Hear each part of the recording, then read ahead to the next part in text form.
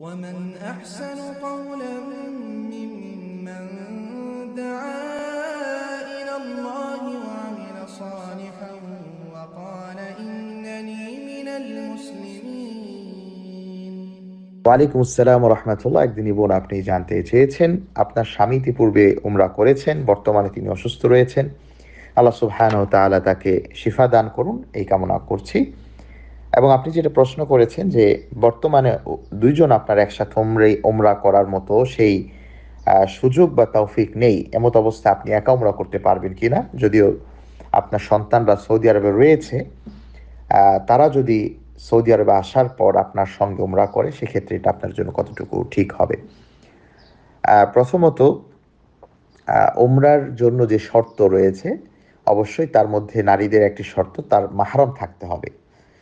যেহেতু আপনার মাহারাম নেই, সেহেতু আপনার জন্য উমরা করা আবশ্যক নয়।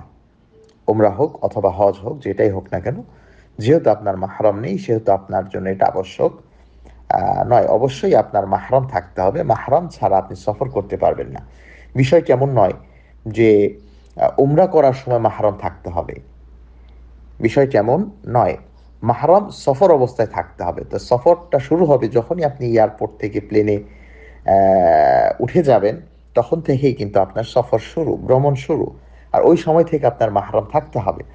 যেহেতু আপনার সঙ্গে কোনো মাহারাম নেই, সেহেতু আপনার উপর উমরা করা জরুরি না।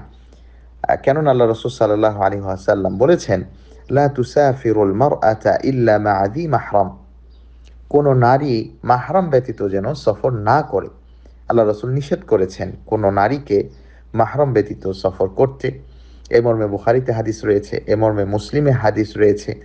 যেমনটি আল্লাহ রসুল সাল্লাহ সাল্লাম বলেছেন, লা ইয়াহিল্লু লি ইমরাতিন আন তুমিনা বিল্লাহি ওয়াল ইয়াউমিল আখির তুসাফিরা মাসিরাতা ইয়াউমিন ইল্লা যি মাহরাম। যে একজন নারীর জন্য এটা ঠিক হবে না, উচিত হবে না যে কিনা আল্লাহ এবং পরকালের উপর ইমান এনেছে সে মাহরাম ব্যতীত সফর করবে একদিনের পথ। এর জন্য আমাদেরকে যখনই আমরা সফর করব, যখনই কোনো নারী সফর করবে, অবশ্যই তার সফরে মাহরাম থাকতে হবে। এখন আরেকটি প্রশ্ন আসতে পারে আপনার এই প্রশ্নের সাথে, সেটা যদি কেউ করে ফেলে, সেক্ষেত্রে তার ওমরা হবে কিনা?